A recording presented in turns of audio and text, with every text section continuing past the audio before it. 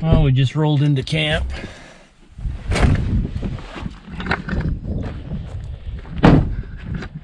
We'll get the truck unpacked. Camp opened up. The water turned on. Get the harrows out of the back. Then we'll readjust the solar panels.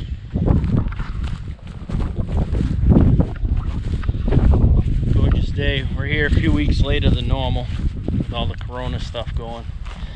Usually I'm here before Memorial Day and I'm here Memorial Day weekend every year since I own the camp, except for this year. But what I'm gonna wind up doing right now, my solar panels are still angled for the winter. So I'll readjust those. Some people have asked questions on the solar. This stand is basically just built out of a old satellite dish. I don't know if you seen some of the old big basket style. All right, so here's one of those old school satellite dishes you can build a manual solar tracker out of. It's in these people's dooryard. I stop, knock, nobody's home. But when I'm coming by, I'll stop and ask them if they want to part with it. In order to adjust the tilt, I take these cables off. I got the cables on there. I stabilize it in the wind, because otherwise it's like a big sail. So that kind of just gives it a little stiffness. There's a lot of flex right here. They never welded a sleeve in there, so it's just in the in the metal. And this thing is old, is probably 40 years old, so been out in the wind rocking back and forth. But in order to adjust the tilt, you gotta take them off and then turn these.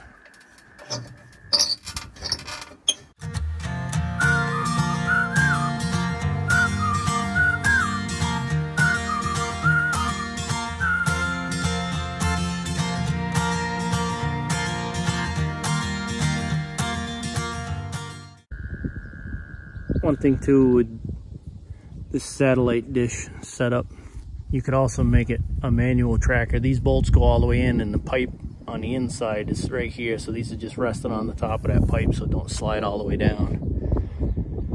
These bolts hold it to the pipe so it doesn't move. So you could weld some little round stock on here to make handles to loosen those bolts.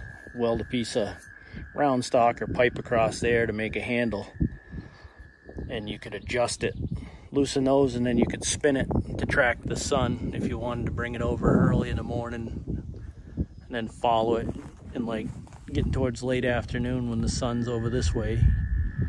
You could loosen it and rotate it if you needed to. I don't need to like I said my batteries get topped off pretty fast. I had a couple people ask me to explain my solar system. This is an old satellite dish that back in the day. Probably 35, 40 years old. You could get free satellite TV. You put one of these dishes in and you had a control box and you turn a knob and it's got a 12 volt motor. It would send power to it and it would adjust the grab for the satellites. So I got it for free from a buddy of mine who was at his grandfather's place. And if I helped him take it down, I could have it. And I was thinking of making a redneck solar tracker out of it. So what I did is basically took the dish off and then I just put angle iron up and put my panels on it. If it wasn't able to tilt, which I use the turnbuckles to tilt it to get my angle for summer and then winter. Wintertime I angle it up so the snow slides off. Otherwise it would probably bend these pieces of angle iron. I got these cables on there just for support for the wind because it catches a lot of wind. But I got a reversing switch that I'm going to install inside the camp. It's a three-phase reversing switch. So basically I can reverse the polarity in order to tilt tilt the panel one way or the other. We'll install that in a little while. So, so you can probably find these still in people's yards out in the woods. Most of them are overgrown that I see. Trees growing around them. You can probably approach people and get them for nothing or very little money.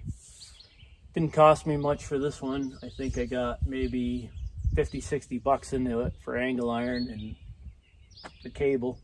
The reverse and switch I got for free from a factory that we were working at. They were throwing out a bunch of stuff and it's way overkill for what I'm gonna need it for, but it was free. It's industrial looking, so I thought it'd be kind of cool for my system. So I've got four 36 volt panels wired in parallel. And then I charge it. 12 volt is my battery bank. So it goes in, goes into the charge controllers and then steps it down to 12 volts. Right there is the array disconnect. There's DC breakers behind it. You can hit that handle and disconnect the whole array from inside. So if you had to do maintenance on any of the charge controllers or anything, you can come out and shut it down. If there's any issues with the panels, one of those breakers inside would trip. All right, here's the main hub of activity here. Up here you got the control panel. That turns turns it on and off from inverting. Then you have your array disconnects. This one's the 12 volt one for the panels you see on top of the camp. This 12 volt panels going in there charging 12 volts, and this one's 36 volts charging 12 volts. FlexMax 60 amp charge controller, FlexMax 80 amp charge controller. And it goes down in here. There's two DC breakers, one for each one, so I could shut these off, shut those off, isolate these if I needed to take one off for maintenance or replace it or whatever. Windmill amp meter. Then I got the windmill brakes, tower one, tower two. Just some 12 volt pigtails for charging phones, GPSs or whatever. Then over here, my generator. Like I said, I got a Generac 7 kW generator so after about a 10 second delay, it'll change from inverting to charging. It'll monitor the batteries to see what it needs. It's a 125 amp charger, so it's sensing what the batteries are doing. It's already floating because my batteries are already topped off. So, shut that off goes back to inverting.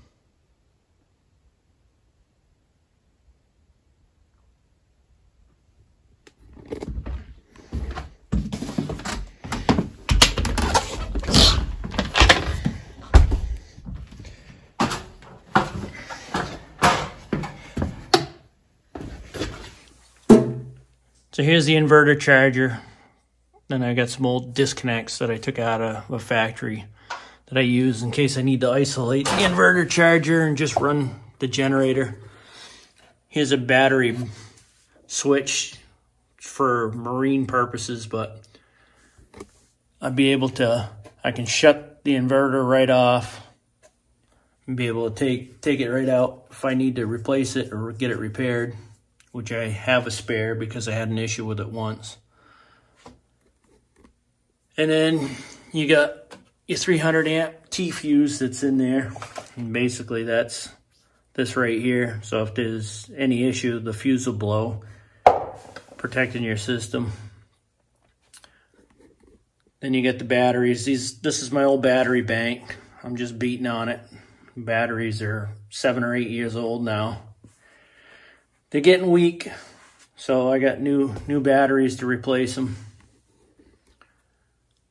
And that's that's basically this down here. All right, so this is my bison pump made right here in Maine.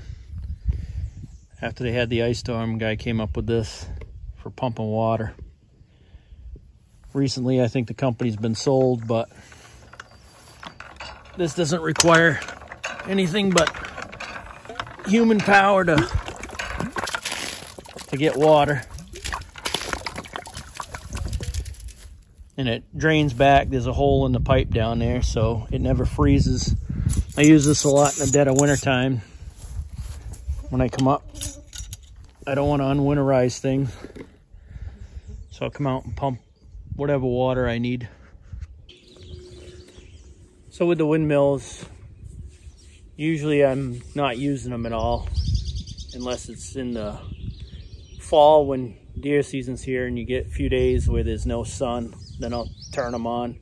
For the most part, the solar takes care of all my power needs and I don't pump my water with my battery bank. I pump it with a, I got a Generac 7 kW generator. And the reason for that is during deer season, there's usually five or six of us here in camp and to pump that much water for showers and everything else would just drain the battery bank.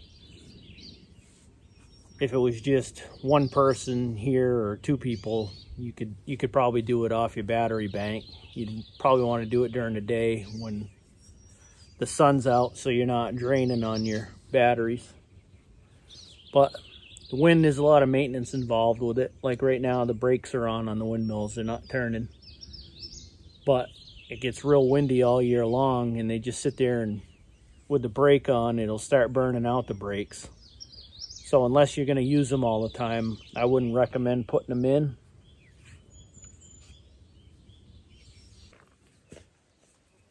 So I don't use the uh, windmills as much as I used to. Years ago, I didn't have the inverter charger that I got now. I got a Magnum Energy MS2812. It's a pure sine wave inverter with a built-in charger. So after we get back from hunting at the end of the day, we usually make supper and then watch some TV and stuff, and then everybody starts to take showers. So usually the generator's running for an hour or two. And while it does that, it's got the built-in charger, so it automatically charges the batteries. So really don't rely on the windmills as much anymore. If you're gonna put them in and you use them all the time, they're great, but for what I'm using them for, they're kind of obsolete now, but they're still there. Down the road when I'm here more, I might use them more. Oh, go go ahead and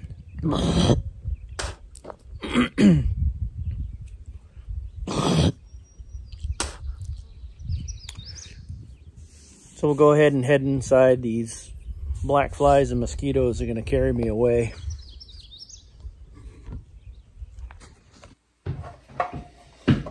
All right, so we'll work on getting this mounted up for a solar tracker. Figure I'll mount it somewhere right about here.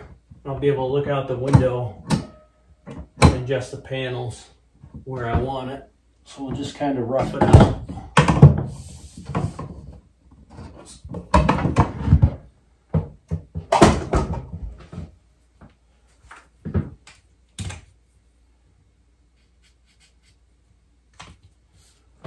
Out and um, cut it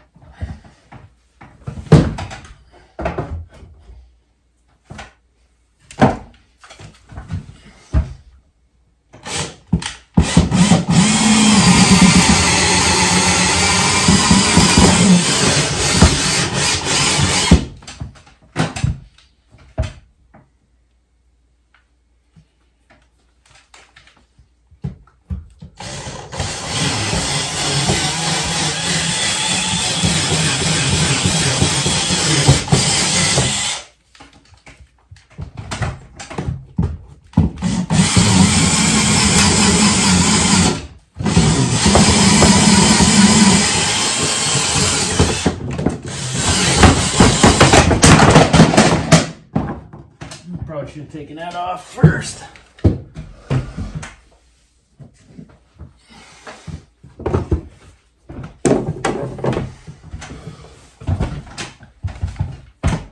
This bit's a little small.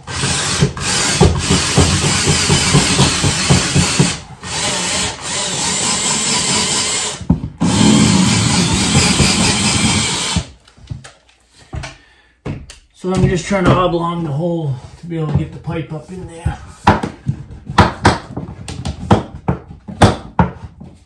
A little bit more.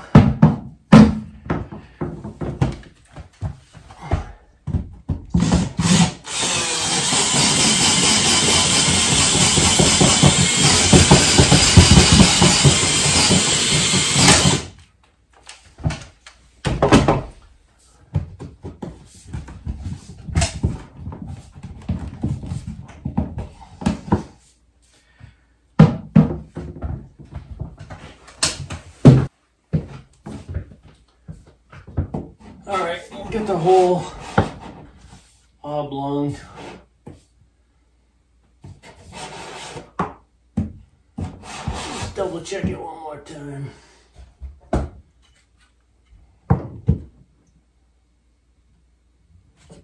Right.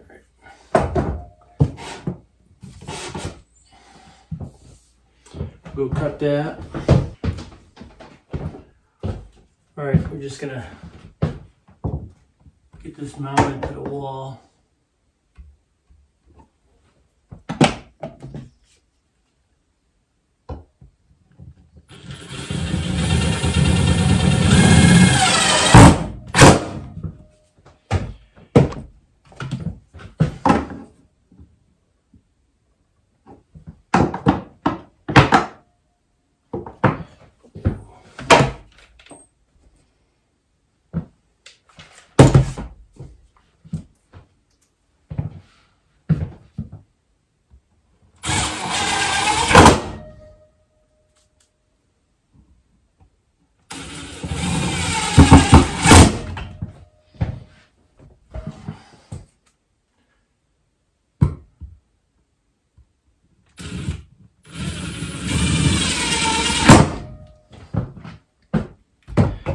In order to wire it up, I gotta go up in the attic, run the wires, and I'm not gonna, with the sun out baking on that metal roof, it's gonna be hotter than heck up there, so I'm not gonna try to film it, but I'll pick up once I get it, the wires dropped down. All right, so like I said, switch it over this side, the array will track to the east. Switch it over this side, it'll track to the west to catch the afternoon sun. So, say you had a real cloudy morning and then you wanted to top your batteries off and you got good afternoon sun, you could crank this baby to the west, tilt it to the west to capture as much sun as you can to put as much energy in your batteries. So, I'll demonstrate that.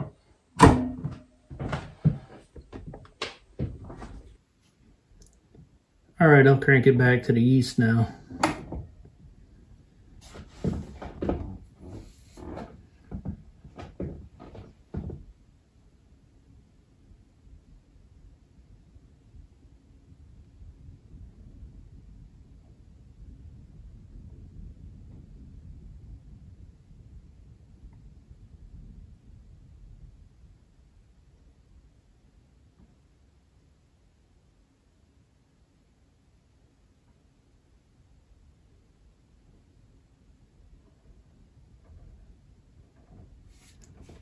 So you can manually adjust it to track the sun throughout the day. If you have, you know, cloudy cover and you need to gain some energy.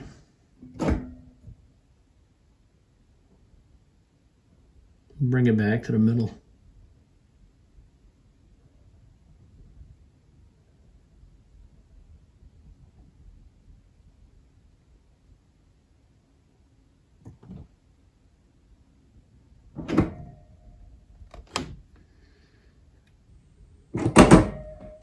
And then as soon as you go to the middle, it's off. And your array stops moving.